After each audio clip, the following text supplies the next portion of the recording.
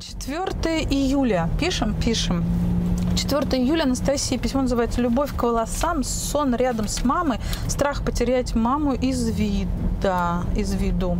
Здравствуйте, Юлия Евгений. Здравствуйте, Анастасия. Посмотрела ваши ролики про игры и не могу остановиться улыбочки. Вы стали мне маяком в море. Спасибо вам за ваш труд и знания, которыми вы делитесь с нами. Пожалуйста, меня зовут Анастасия, дочь Софи, года 3, роды 1, ИКО, беременность 37. Родов 38, кесарь, плановая кесарева, беременность на гормональной поддержке. С 27 недель, кольцо акушерское, 9 по Абгар без гипоксии, НГВ до 6 месяцев, далее каша из бутылки. 8 месяцев села, 8,5 поползла, в 9 пошла в пару, 9,5 просто пошла.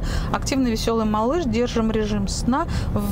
В 12 дня, часа полтора-два с половиной. Это, видимо, дневной сон. Ночной сон с 9 вечера до 6-7 утра. Ночью просыпается редко, бутылку не просит. А волнует меня несколько вопросов. Первый. Дочь любит теребить мои волосы или бабушки. Мне их натягивает на лицо, перебирает, наматывает на ручку. Так было всегда. Это, кажется, ее успокаивает. Перед сном всегда, но может и днем делать то же самое. Это нормально? Или нужно отучать ее от этого? От этого? Ну, эта привычка сама не уйдет, она так и останется. Это называется ритуальные движения, которые ребенка успокаивают.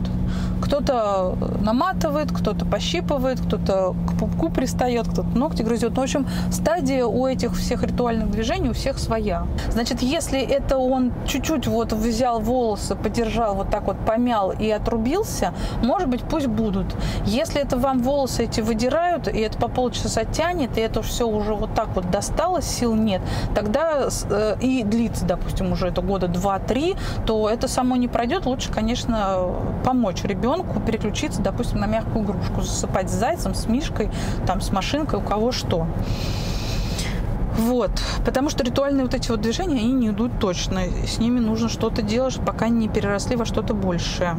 Если у ребенка все вокруг спокойно, лучше на какого-нибудь зайца переключить. Второе, ее кроватка стоит вплотную к нашей, борт убран, и она может спокойно ходить туда-сюда обратно. Спит в кроватке, но утром досыпаем в обнимку с собой. Мне комфортно, но не вредит ли это ей? Сколько еще раз возраст? Года три. Ну, как говорят нейропсихологи, сон с родителями после года э, запрещен. Но если вы считаете, что это ну вот просто на полчаса пришла, на час пришла, э, и больше этого не становится, ну пусть еще побудет. Вот.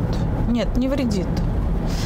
Третье. Собираемся в ГТ-6 сад, но она может сейчас остаться на пару часов только с моей мамой или отцом, с другим, а с другими истериками. При плаче на взрыв, э, на взрыв ее даже рвет. Невролог говорит, это норма. Как не навредить психике, научить расставаться с мамой? Никак, потому что сепарация э, происходит сама, постепенно, и только когда ребенок чувствует, что вот он готов, ну и мама, естественно, ему в этом помогает, сепарироваться и взрослеет, и отдаляется. Разлучаться с мамой научиться никак этому нельзя, потому что как только ребенок в раннем в таком возрасте в год три, в год четыре, в полтора почувствует, что обманом каким-то путем и матери нет, и ей дискомфортно без матери, то начнет включать э, истерики и стараться за мать цеплять. В общем, как это получается у нас? Обратная медаль получается, и ребенок еще больше начинает виснуть на родителей, дабы его не потерять. Вот. Конечно, бы в сад как можно позже, если вы видите, что ребенок очень сильно привязан, и ему еще очень нужна подпитка от родителей, и связь еще тесная. Вот.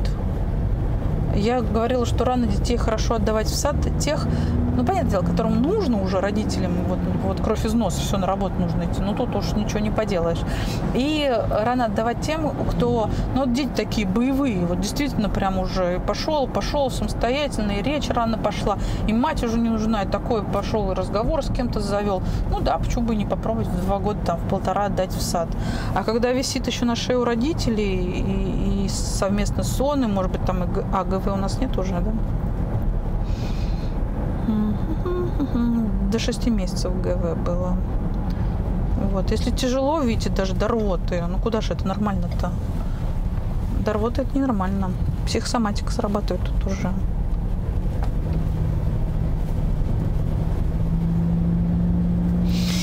Так, собираемся в сад еще раз в год и шесть она может остаться на пару часов только с моей мамой или отцом, а с другими истерика. При плаче взрыт и даже рвет. Невролог говорит, это норма.